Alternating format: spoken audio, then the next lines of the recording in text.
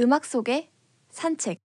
그때 그 말을 했어야 했는데, 그때 그 일을 했어야 했는데, 우리는 살면서 크고 작은 후회들을 하며 살아가는 것 같습니다. 불과 몇 분 전에 먹은 빵을 생각하며, 아, 먹지 말아야 했는데 하는 가벼운 후회를 하기도 하고요.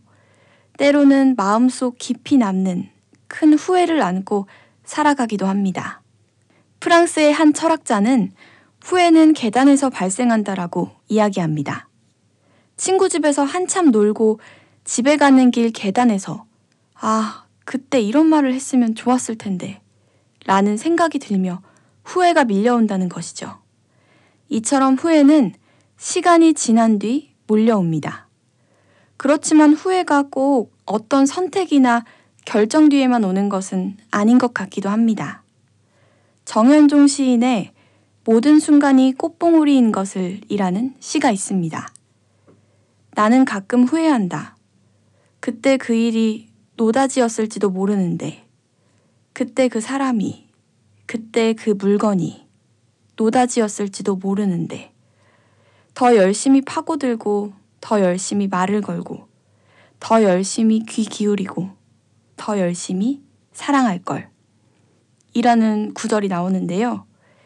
매일 주어지는 하루와 순간순간의 삶이 노다지인 줄 한참 뒤에야 깨닫는 것 같습니다. 그때 더 열심히 파고들고 그 사람에게 더 열심히 귀 기울이고 더 열심히 사랑할 걸 하고 뉘우쳐 보지만 지나간 시간은 다시 오지 않습니다. 저도 요즘에 많이 드는 생각입니다. 평범한 일상 속에 얼마나 많은 소중한 순간들이 존재했었는지, 하루하루가 늘 새로운 기회와 하나뿐인 순간들이었는데, 그걸 몰라봤습니다. 늦게라도 알았으니 다행인가 싶기도 합니다. 살다 보면 순간의 소중함을 또 잊으며 살기도 하겠지만, 잊을 때마다 모든 순간이 꽃봉오리인 것을 이라는 식구를 떠올리며 최선을 다해 살아야겠습니다.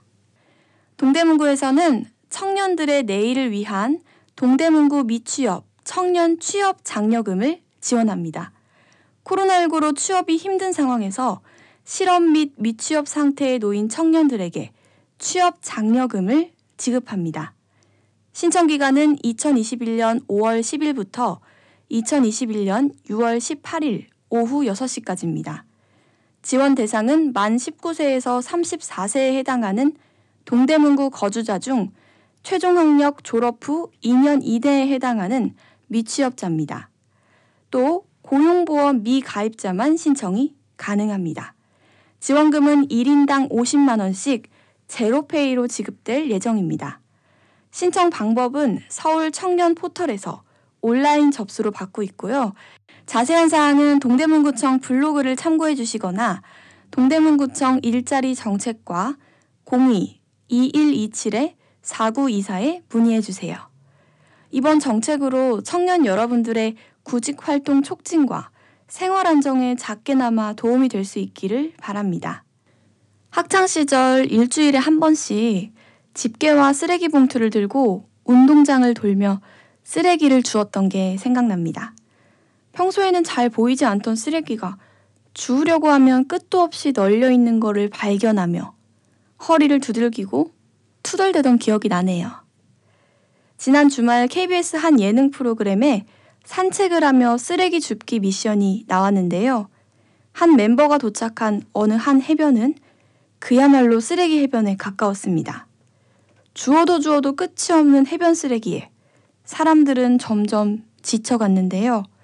그래도 하나하나 줍다 보니 어느새 깨끗한 모습을 되찾았습니다.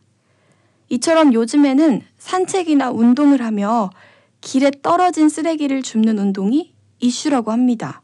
이를 plogging이라고 하는데요. plogging은 스웨덴에서 처음 시작됐는데 봉투를 들고 거리에 쓰레기를 최대한 많이 주우며 목적지까지 일정한 속도를 유지하는 것이 핵심입니다. plogging을 마친 뒤에는 SNS에 활발한 인증을 남기기도 합니다. 쓰레기를 담을 봉투와 장갑 또는 집게만 있다면 누구나 쉽게 실천할 수 있는 plogging으로 건강도 지키고 환경도 보호하는 일 좋을 것 같네요. 2016년 구의역에서 발생한 스크린 도어 사망 사고를 기억하시나요? 스크린 도어를 혼자 수리하던 김 씨가 출발하던 전동열차에 치여 사망한 산업재해입니다. 당시 김 씨의 가방 안 물건들이 공개되면서 사람들의 마음을 더 아프게 했었는데요. 갓 스무 살을 넘긴 청년의 커다란 가방 안에 들어있던 물품은 각종 장비와 컵라면, 그리고 뒹굴어 다니던 나무젓가락. 청년은 컵라면도 못 먹을 정도로 중노동에 시달리다 생을 마감해야 했습니다. 한국은 OECD 국가 중 산재 사망률이 높습니다. 지난해에만 2026명이 산업재해로 사망했습니다. 전 세계에서 제일 많이 산업재해가 일어나는 이유 중 하나는 현장에서 발생하는 사고 관리 책임자들의 책임의 무게가 크지 않기 때문이라는데 대부분의 경우 미미한 처벌을 받고 끝난다고 합니다. 구인역 사고의 경우도 대부분 집행유예로 풀려났습니다. 얼마 전 가슴 아픈 사고가 또 발생했습니다. 지난해 군에서 전역한 23살의 젊은 청년이 생활비를 벌어보겠다며 평택항에서 아르바이트를 시작했습니다. 그는 지난달 22일 정리 작업을 하는 도중 컨테이너 벽에 깔려 죽었습니다. 현장에는 안전관리자가 없었고 안전모를 따로 지급하지도 않았습니다. 23살의 청년의 죽음 이후 얼마 뒤 두 명의 노동자가 산업재해로 또 사망하는 사건이 발생했습니다. 인터넷 포털 사이트를 켤 때면 자주 볼 수 있었던 산업재해는 실제로 매일같이 일어나고 있었습니다. 앞으로는 이런 일들이 발생하지 않기를 바라며 기업은 이윤 추구 이전에 직원들을 가족과 같이 생각하고 안전하고 쾌적한 근무 환경 개선을 위해 지속적으로 노력을 기울여야겠습니다. 오늘은 최정란 시인의 썩은 사과의 사람 중 한 부분을 읽어드리며 마무리하겠습니다.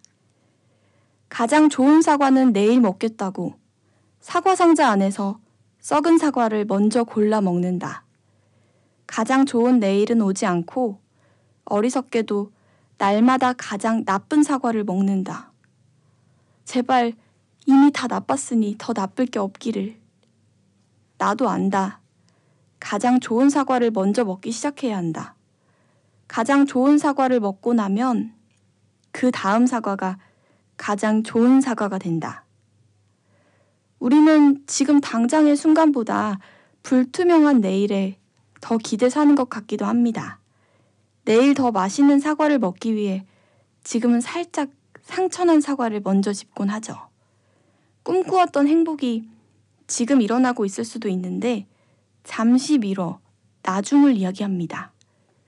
오늘 주어진 행복은 오늘 마음껏 누리고 살면 좋겠습니다. 지금을 잘 살아야 내일도 힘차게 잘 살 수 있을 테니까요.